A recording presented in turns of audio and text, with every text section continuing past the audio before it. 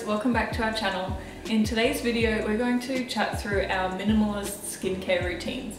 So this is very minimal, using hmm. very few products, but also the diet tips that we use to keep our skin really healthy. So when it comes to skincare, we really believe that you don't need a lot of products. So beauty really does start from the inside out, hmm. but then there are a few targeted products that can really help to just take it to the next level. Yeah. So we're going to start with food. So the first food or supplement that we're going to talk about is collagen. So here we have the collagen peptides from Vital Proteins. Mm-hmm. So this is a very popular brand of collagen. Collagen peptides are great for your skin because they supply all of those precursor amino acids that we need for collagen production in our skin. So that's basically what keeps your skin mm-hmm. like really elastic and youthful. Yeah.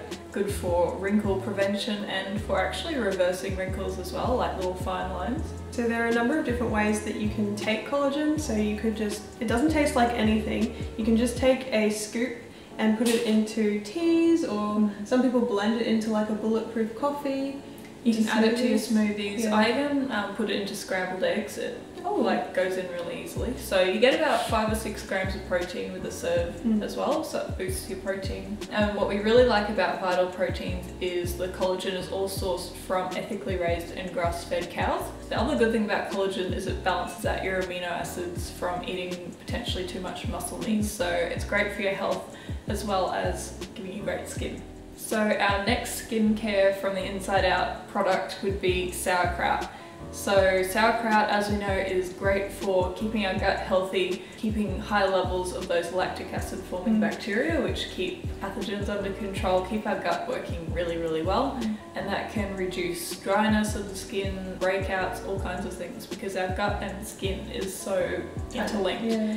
So we love this sauerkraut. This is the one I've got at the moment. Is the smoked garlic kraut. We've mentioned it a couple of times. It's my favourite one. Mm. So if you're in Australia, definitely check out this brand. But what you want to look for is one in the fridge section of your either supermarket or health food store because it will be unpasteurized and raw, so it's full of the living healthy bacteria. Mm. So pretty much all foods that support our gut health will also keep our skin bright and glowing because we know that the gut is really the root of all of our health. So when the gut is off, our skin is going to be off. So another one which also links to gut health but has some other benefits is cod liver oil.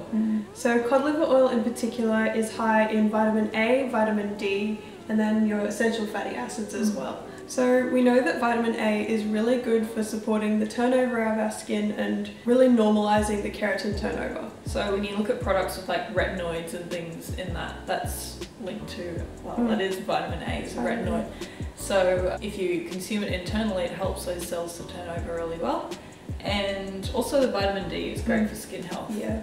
So we take that every day. So we also wanted to mention that including plenty of zinc-rich foods in your diet is really good for supporting the health of your skin. So zinc can be found in a number of different foods, so mostly seafood and in particular shellfish. Yep. But then also it can be found in liver, so like lamb's liver or beef liver. Mm. And You it's can- quite high in the muscle meat too of lamb and beef Oh, cool. and pumpkin seeds.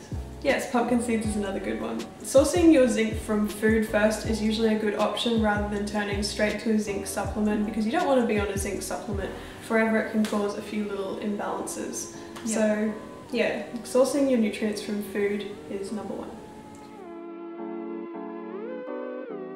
So our actual skincare routine, we're going to start with cleansing. So I think both of us like to use oils or more like richer formulations for removing makeup rather Mm. than like sudsy soapy Yeah. products.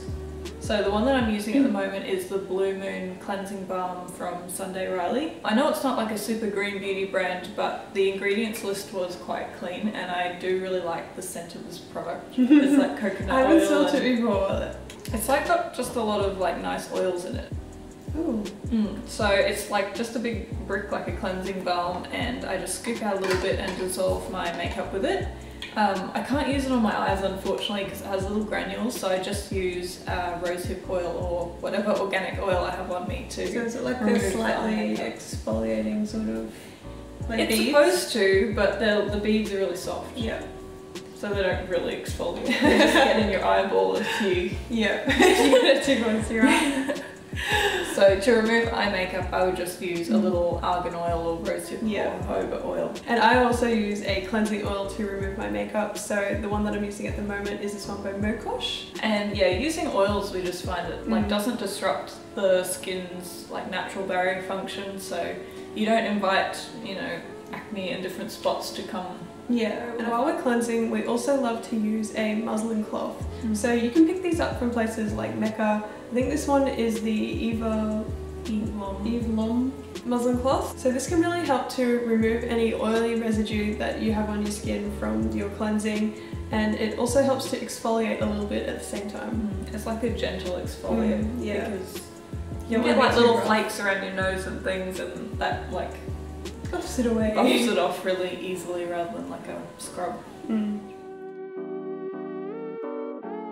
So it's also really important to incorporate some form of moisturizer. So we generally like to opt for things like oils. We don't find that this contributes to breakouts or anything like that. So one of the oils that we both enjoy is the argan oil by Josie Maran, but any kind of argan oil will work. Also Mm. rosehip oil is really lovely. And jojoba is Mm. one that I was using till I used it up recently. But that one's like very similar to the sebum in our skin. Yeah. So Or you can just add a few drops of this to your regular moisturizer if you want a bit of a boost. other products we wanted to mention was I use and the label's like not correct. Um, chamomile water, so I just brew some chamomile tea and put it into a little spray bottle. And sometimes I like to use this as the first step. It's like very calming and also helps to lock in the moisture when you apply moisturizer on top. And the one that I'm using at the moment, if I'm not using oils, I kind of change it up depending mm. on how my skin's feeling. This is a little more, like even heavier than just using an oil, and it's the Mahalo Balm. Quite a thicker, but really like, I don't know, it has a really good feeling to it when you mm. apply it. It's got like a very comforting feel to it and I really enjoy this, especially at night time. I don't use it so much in the morning because it's a little heavy. The other thing I thought I'd mention is vitamin C powder, so sometimes I also add a little vitamin C boost to any of my skincare, whether I'm using oil or this product here. So that really helps to, Mm, boost collagen as well. yeah, So vitamin C is also needed for that collagen production. So if you don't want to go out and purchase vitamin C to put on your skin, you could also try eating some vitamin C rich foods. Yeah. And last but not least, we like to protect our skin every day with an SPF. So when we say the skin, that's just our mm. face really. Typically don't apply sunblock all over our body, but on our face every day, we opt for a natural zinc sunblock. So the one that I'm using is by Juice Beauty, and I really like that one. It's all organic, Yep. and it uses like non-nanoparticles, but it just uses that natural sunblock rather than a chemical block. Yeah. Okay guys, so that was our minimalist skincare routine. Let us know in the comments if you're interested in seeing like a morning routine Mm. or more makeup style videos on this channel. And if you have any other skincare tips or questions, we would love to see them below. And before we go, if you enjoyed this video, please leave it a thumbs up. It really helps to support our channel. And if you're not already subscribed for more health, beauty and lifestyle videos, then hit the subscribe button. And we'll see you in the next video. Bye. Bye guys.